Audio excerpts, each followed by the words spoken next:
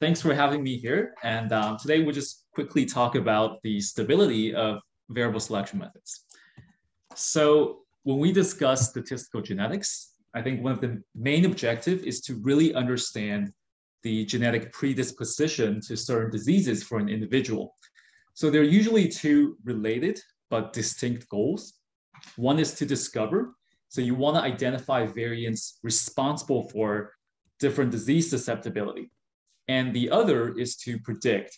So you want to figure out how these variations come together to influence one's disease risk, right? So mathematically, we're seeking after the conditional distribution of y given x and z, where z can be uh, some environmental variables that are unobserved.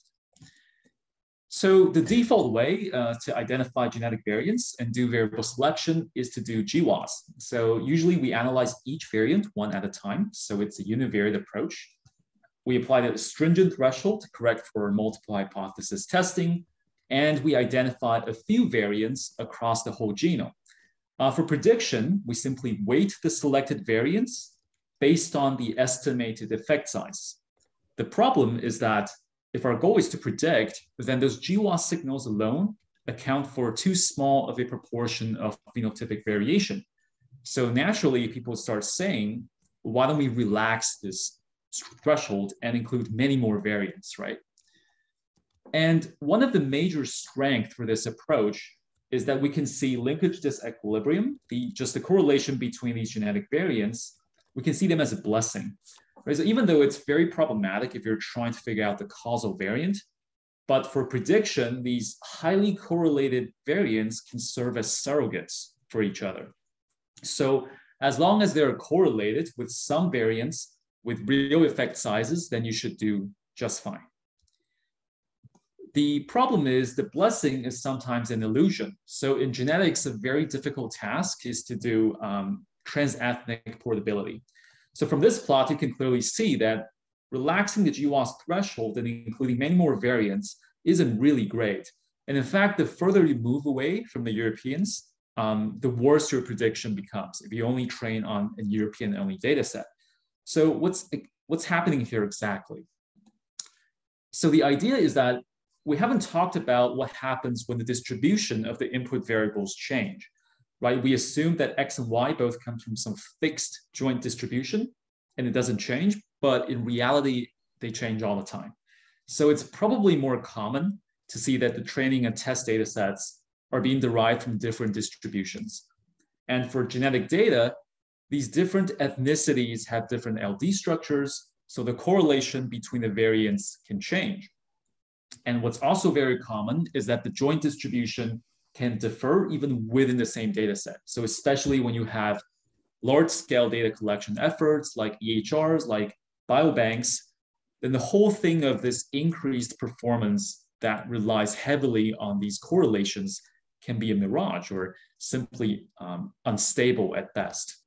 So that gives us an opportunity to revisit variable selection, see if we can select a bunch of stable variables uh, that help us generalize to different environments better.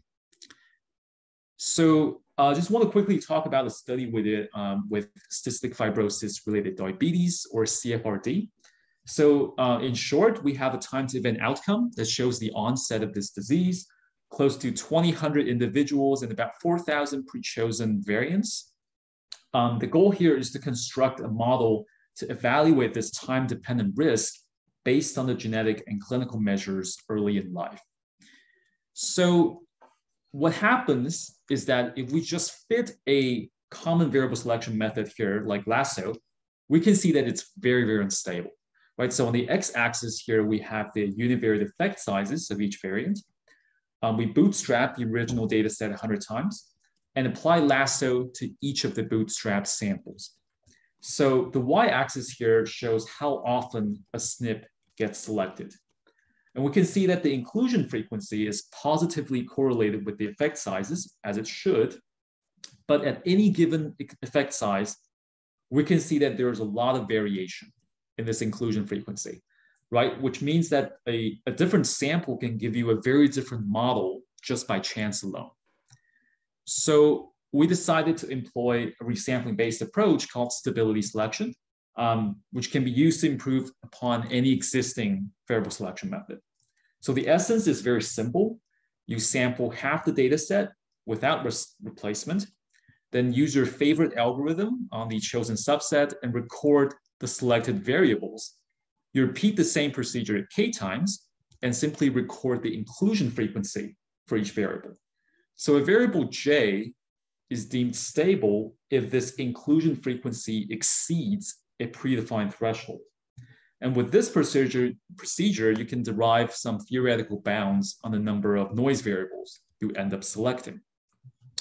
So we can see here that using this approach, we can achieve similar performance, but with much fewer variables. So the chosen variables here are the, are the ones that performs consistently in different subsets of the data. So we can see that um, stability selection here in red are on the top, and they have similar performance with lasso, but tends to select much fewer variants. At the same time, it outperforms the conventional p-value thresholding, which tends to select too many variables when the effect sizes are moderate. So um, here we just show that, yes, um, the high risk and low risk individuals in our validation set have quite different risk profiles over their lifetime.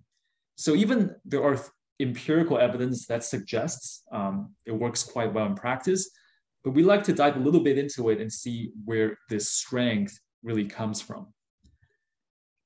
And um, one thing that we have found is that these sort of resampling based approach is more robust in the presence of outliers or influential points. So imagine our input variables X is now sourced from a mixture distribution. So here the pi really controls for the proportion of outliers uh, in the data set. So we can think of this as individuals from a different ethnicity or individuals from uh, different healthcare centers. And here we show the true positive rate of the three different methods uh, when we vary this pi. And the first thing we note is that the multivariate approach like lasso or stability selection outperforms the univariate approach, p-value thresholding. But what's interesting is that stability selection on the top is more stable compared to lasso even though on average they're, they're quite similar. So the reason is that when you sample half your data set multiple times, the vast majority of these subsamples would not be heavily influenced by some outliers. And in Lasso, the, your choice of the penalization parameter lambda can be quite unstable. So in one way, we can argue that stability selection is very similar to the spirit of robust statistics, right? You just want to model the core of the data and make the outliers or influential points less influential to the model you have. And one other advantage um, we're going to skim through is that it's more robust in the presence of multiple subpopulations. So it's very similar to the outlier case, but now it's not just a part, a small part of your data set, but you can have two, three, four different environments um, derived from different distributions. So the method uh, stability selection is, is great at recovering variables that are contributing in all the environments. So it ignores variables that are unstable because they only they're only effective in certain subpopulations. So conceptually, um, we can think of it as a way to generalize to multiple domains or unseen domains when we don't have this exact information on the subpopulations uh, in our data set. And uh, just the last note that this added stability, how this added stability manifests itself in risk predictions. So these are three randomly chosen individuals in our data set.